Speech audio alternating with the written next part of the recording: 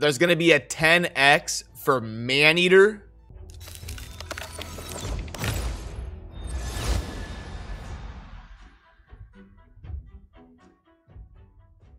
Hey, what's up? This is Chosen, and this is going to be your Raid Shadow Legends wrap-up for Thursday, May 6, 2021, and we have got a lot of craziness going on. The 10X for this weekend, it's not live right now, but I'll go over all the champions, not only Maneater, but lots of good stuff going on in that 10X, so I will get you full context on that let you know what you should be doing in terms of if it's a good idea to pull or not. The Void rebalance is live. The next iteration of the Doom Tower is live. Clan vs. Clan is going on, and I will get you all caught up. So let's get into it. Alrighty, so first of all, the 10X is not live right now, like I said. You want to make sure and click the I here in the summoning portal, and then down below here that will usually feature the 10X champions and show you that is live. So it's going to be live this weekend. I'm just getting you the information of what is upcoming. So don't go pulling shards yet. The 10X is not live as of me recording this, but it will be this weekend. And the champions that are in the 10X are going to be Sethallia, Duchess Lilitu, Blind Seer, Manaya, Maneater, Sky Touch Shaman, Quargan, and Ashok. So now let's go through each one of these champions just really quick and give you the uh, the short rundown of them. So Thalia is a, a, pretty good legendary, known mainly for her aggressibility, which is the uh, the booked up 100% chance of AoE buff strip and also decreasing the turn meter while also filling the turn meter of all allies. She can do that role pretty effectively, a great AoE buff remover. Then Duchess, I mean, do I really need to say anything about Duchess? She's widely regarded as one of the best and most universally uh, helpful legendaries to have on your account. She's an amazing progression champion. Can really help those early game players clear content that there's no other way they'd be able to if they didn't have her. Uh, she's amazing in the Doom Tower, double S tier, uh, used in almost every stage when people have her on those tough areas to clear. Uh, yeah, so I don't really need to go into her kit. Duchess is absolutely incredible. Uh, tag team arena, defensive arena teams, just so much value that she brings to an account. One of the best overall legendaries in the game. Blind Seer is uh, really underrated. She's a very solid legendary that brings a lot to the table. 115 base speed is insanely high, and she just does a lot of cool things. Uh, decreases turn meter on her A1. She can block debuffs for all allies and uh, give shield. She also revives, and then she'll place block damage on them. And then she's got an all battle defense aura of 34%, which is huge. So Blind Seer definitely underrated. She's a solid legendary. For Manaya, I mean, she's not a trash can, and she's also not godly. She's just kind of, eh, she's all right. Uh, I think her main role in the game is for people that have Coronar, because the tandem of Manaya and Coronar can actually be pretty insane. Now we move into the epics, and we'll start with Sky Touch Shaman. A pretty insane healer. Uh, you get her built right, she can definitely crank out the heals, be a great source of dungeon and faction wars progression. So uh, a really good Void epic, definitely solid. Quargan is a new Lizardman epic, and the cool thing, I think, is the attunement ability here. It's going to be based off of kind of the stat that that champion is based off of. So it's going to place Perfect Veil and increase attack on allies whose attack is higher than their defense, so basically your damage dealers.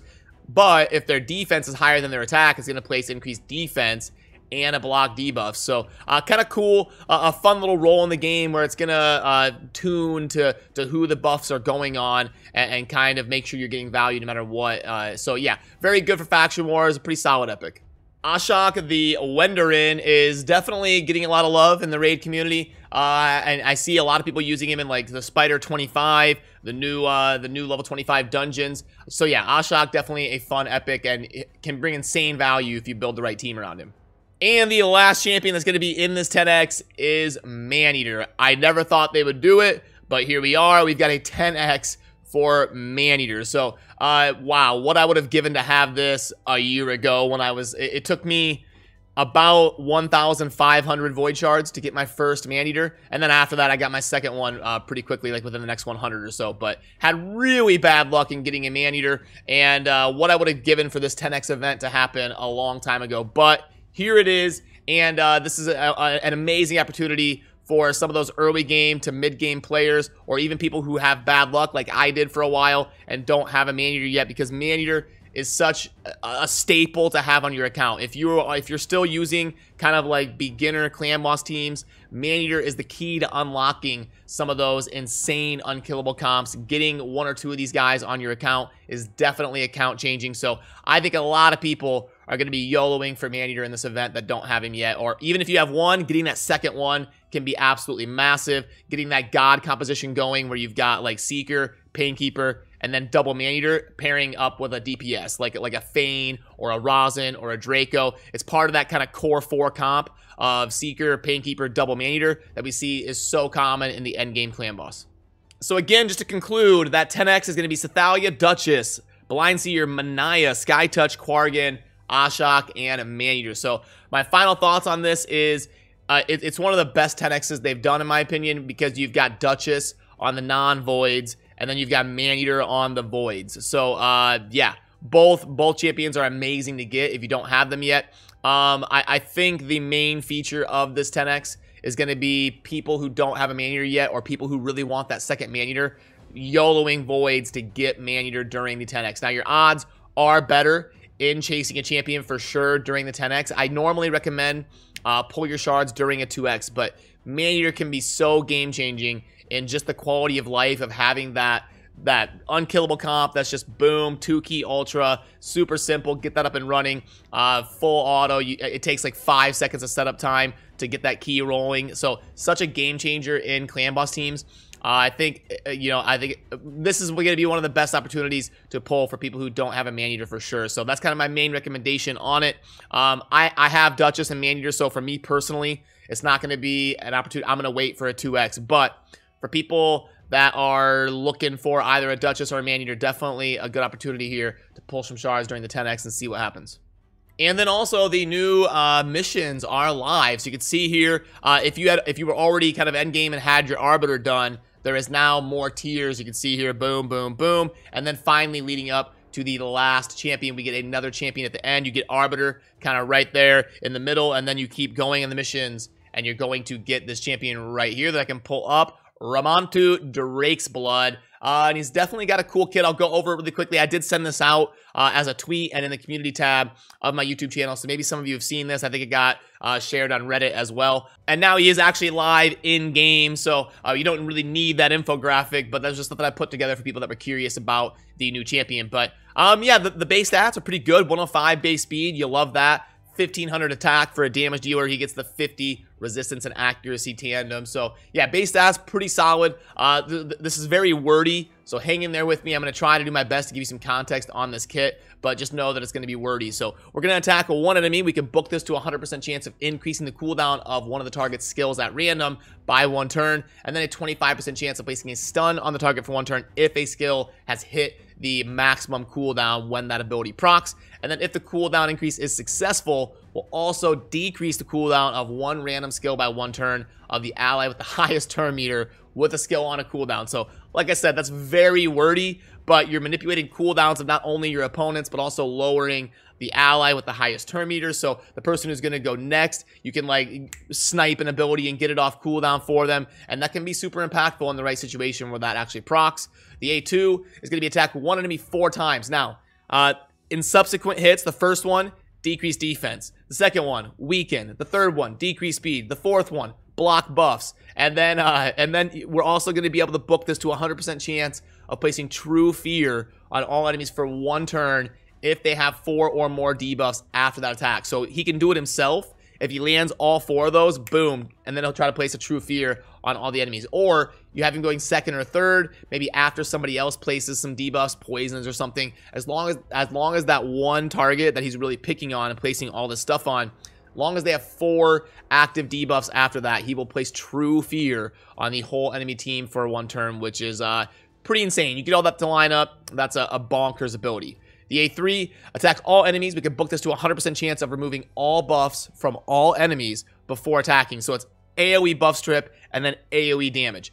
Also, we're gonna we're gonna be blocking active skills on champions without passives, or we're going to be blocking passives on champions that have passives. So uh, really insane. That's a new mechanic that we haven't really seen before. So yeah, uh, you're starting to see that this guy could absolutely do some uh, like just crazy things in, in, the right situation where he's getting these things to proc. Then we've got a passive whenever, whenever an enemy places the CC stuff, stun, sleep, etc. on this champion will instantly fill this champion's turn meter by 30% and place 30% uh, increased speed and a shield on himself, and the shield's equal to his max HP. So he's not an HP champion like a miscreated monster or something. It's not going to be an insane shield, but it's a passive, and there's no cooldown on it. So yeah, uh, if you're facing people that are placing CC, he's just going to keep getting more sustain and then getting uh, the, the speed on himself while boosting his turn meter. So definitely, uh, like I said before, crazy ability when you're getting this stuff to proc. And then we're going to get increased ally accuracy in all battles by 80. So he could be good for some of those Doom Tower bosses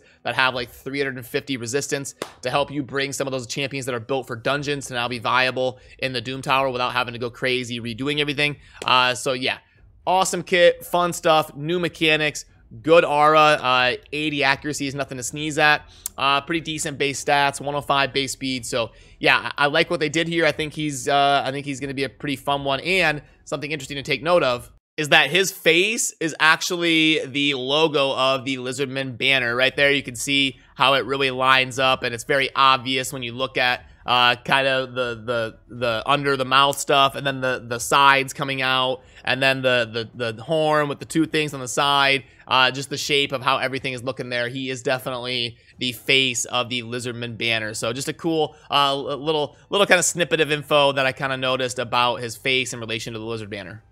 And while we're on the subject of champions, remember those voids that were being rebalanced. This is already going to be kind of a longer wrap-up video, so I'm not going to take 10 minutes and go through all of them. But your Visix, your Whirlwind, Soulless, those void champions that were changed, that stuff is live in game. You can see here on the Whirlwind, uh, he is also going to be placing the decreased accuracy that cannot be resisted. So all those insane changes that were coming to some of these void champions, those are live in game. So definitely take a look and take note of the champions that are in your roster that you may want to be using in certain places now. And hang in there with me, we're not done yet. We've also got a Doom Tower reset. So this is to be, uh, so basically there's two versions of the Doom Tower right now in Raid. You've got like Doom Tower A and Doom Tower B. Doom Tower A was the one that we had at first, but those four bosses, the Scarab, the Frost Spider, the Magma Dragon, kind of that, that first iteration that we saw for three months. Then Doom Tower B was the one we just had, where they added the Griffin and, and the Eternal Dragon, and, and it was a little bit different with different secret rooms and stuff. Now this one is going to be Doom Tower A. We're going back to kind of the Scarab and, and, and what the Doom Tower was for the first three months. So uh, a little bit confusing, but that's kind of how it works right now. So it's going to be that main Doom Tower that we were familiar with for the first three months, and that did reset. Now, you may want to think if you're if you're a player that is doing normal and hard, you may want to think about doing normal first because then you can progress in these missions a little bit faster. Some of this uh, Doom Tower stuff starts on normal. So uh, for this month specifically, this Doom Tower, if you're an endgame player that's kind of starting on these endgame after Arbiter missions, you may want to clear the Doom Tower on normal first, or at least kind of pay attention to how that's progressing, and just something to kind of keep in mind when you're diving into this new Doom Tower. The Clan vs. Clan matches are also live right now, so uh, good luck in your Clan vs. Clan matches. We are in an absolute barn burner. It's going to come down to the wire. It was, it's within a few thousand points here. It looks like both teams are going to be going for the uh, the level 10 milestone rewards, and it's going to really come down to the last few hours here on Clan vs. Clan. So uh, good luck in your matches, and I hope you're able to win and get those accessories. Then if we dive into the tournaments tab, uh, right now we've got the Ice Golem tournament going on. Um, this is just kind of your normal Ice Golem tournament. And like I said in my last wrap-up video, maybe be a little bit conscious that we've got Ruel, uh, the, the Ruel Fusion event starting next week here in a few days. So uh, be a little bit careful on your resources in preparation for that. Some of this stuff is just kind of uh, calm before the uh, storm type of stuff that uh, you, you don't have to feel bad about skipping, in my opinion, if you're saving up for next week. But it's champion training. Classic Arena Takedown uh, is going to start tomorrow. Then if we go under the events tab right here, we've got Dungeon Divers kind of coinciding with the uh, with the Ice Golem, and that does end uh, here today. There is a legendary book here at the end if you do want to grind. Uh, not a bad opportunity to go for like the Relentless set and the Ice Golem and, and grind that up if you have the resources to do so. And then there's also another artifact enhancement event I would at least go for the thousand right here, scoop up those core hammers, and then if you want to save resources in preparation for the Ruel stuff starting next week, totally understandable. Now we'll head on into the shop and see if there's anything worth uh, taking note of here. Let's clear this stuff out, and we've got $50. Okay, uh, the 2.5 million. Um, do do do do the thousand energy. Okay, and then no gen. We've got the five epic five. Okay, so that's a 1.5 with some charms. Yeah, I mean, not going to be great in my opinion. Maybe for a high spender that really needs the legendary books or something. But uh, for people diligent about spending, I don't think that one really makes sense. Uh, the Mega Mix Pack, why not? Wait, let's plug it in here. Um, doesn't look super amazing or anything, but let's see. We got 160 brews, 350 gems, um, five days of XP, uh, 160 of the the uh, brews. We put that in. Now we got the chicken, the eight four stars, and the 10 five stars. Uh, 2.01. So, I mean, it's not the worst offer in the world, but it's not one that I would recommend personally. Um, Divine Crit, $20 for 5-star gear. No, we're not going to be in the market for that. So that'll do it mainly for what I wanted to cover in this video. And then just to remind you, the 10X this weekend, not live right now, but this weekend will be for Sethallia, Duchess, Blind Seer, Manaya, Skytouch, Quargan, Ashok, and Maneater. So I anticipate it to be a pretty crazy weekend for where lots of people are going for that Maneater because they want to get to the point where they have that those unkillable comps. So I think that's kind of the main takeaway of the 10X coming up this weekend. But uh, Duchess definitely nothing to sneeze at either. So definitely some cool things on both the non-voids and the voids for this 10X. So lots going on. If you want to come hang out on stream, I will be live for the next few hours. If you're watching this video right away, there will be a link down below in a pinned comment where you can come hang out and we'll be discussing all this stuff going on. So that'll do it for this one. As always, thank you for watching. Have a good rest of your day. Peace.